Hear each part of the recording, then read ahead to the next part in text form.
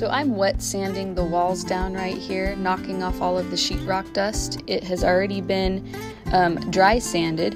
And getting to level three for the finish on the drywall has really taken uh, a long time for our family.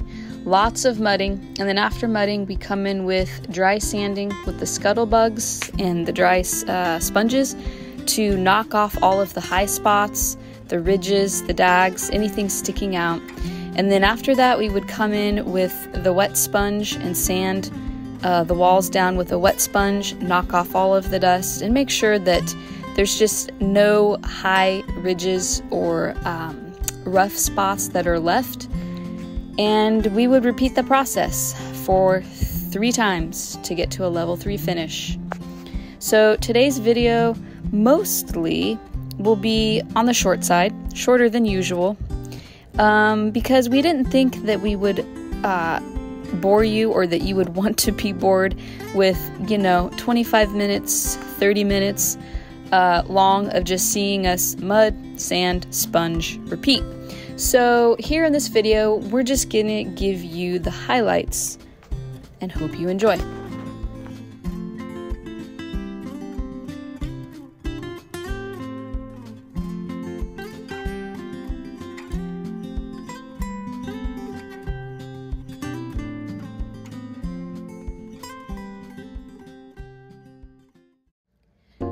I wanted to try doing corners and I wanted them to turn out nice and smooth. And using this corner tool, it was it was making it challenging. I was struggling and I was trying to figure it out. And I was getting frustrated. So I thought the best thing at that point is to walk outside, take a breather, study the sunflowers, enjoy them for a few minutes. And after a few minutes, I was able to clear my mind, redirect my focus, and I went back inside to tackle doing the corners, and they came out beautifully. So enjoy the footage that I've included of my mini break outside to refocus and redirect. Sunflowers are such happy flowers.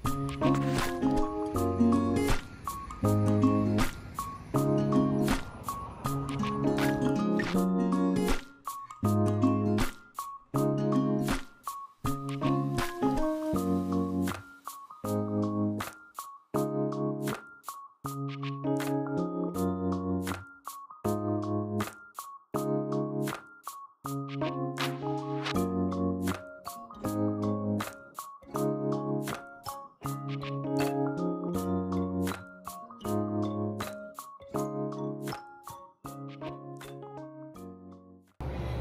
this is why Brian has to come in behind me and fix everything that I've been doing. I feel like I've been frosting a cake. He's fixing all of my darnets, I guess you could say. And I managed to get it all over myself. I frosted my hair even. It's all up and down my arms. I got it everywhere that it didn't need to go. And um, let's just say well, let's just say that uh, I guess one job that I probably should never apply for would be cake decorator. I probably would be horrible at that. I would get the frosting all over everywhere except where it needed to be.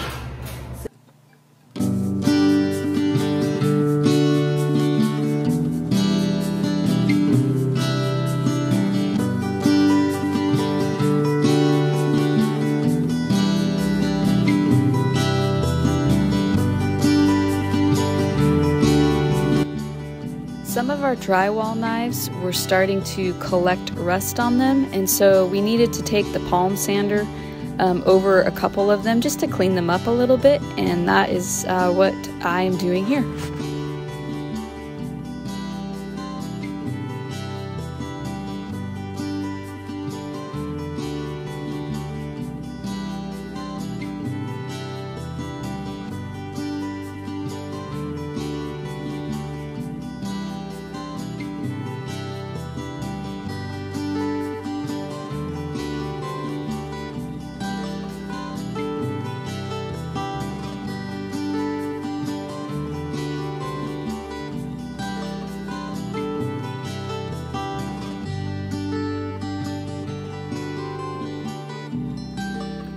Dry sanding, got sheetrock dust everywhere. Using these scuttle bugs reminds me of kind of like a Swiffer mop um, with sandpaper attached to the bottom.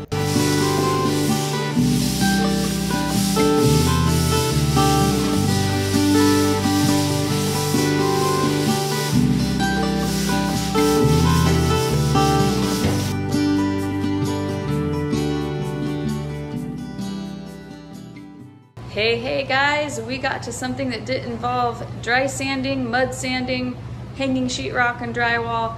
It is our two-headed shower stall. Two, this one we got in, we got this little pony wall, I guess you would call it a pony wall, um, framed in.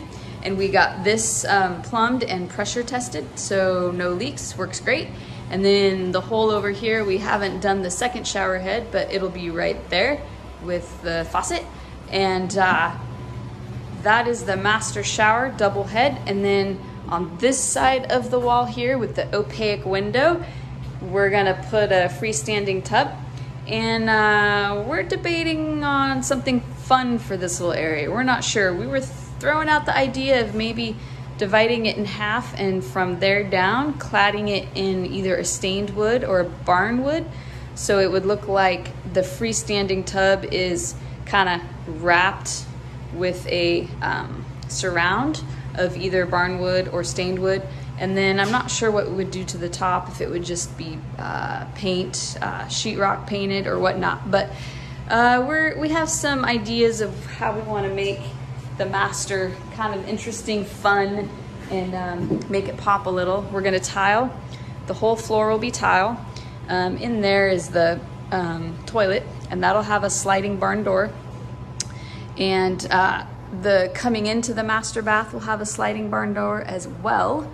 And so master bath is coming along. We were totally excited to get this done and in because we are tired of drywall. We want to move on to other projects. So that is good. Hey everyone. Thank you for watching today's video. We hope you enjoyed it. And Brian and I have a question to all of you out there, our viewers and our subscribers. So comment below, what was one of your favorite DIY projects? Um, our channel is all about DIY, doing it yourself. Uh, if you already know how to do it, um, or if you don't know how to do it, or you want to learn how to do it quicker and faster, or learn some tricks of the trades, um, whatever. So we assume that all of our viewers are DIY, that all of you are DIY people, that you enjoy doing it yourself or you enjoy trying something new. Um, so comment below let us know what was one of your favorite DIY projects.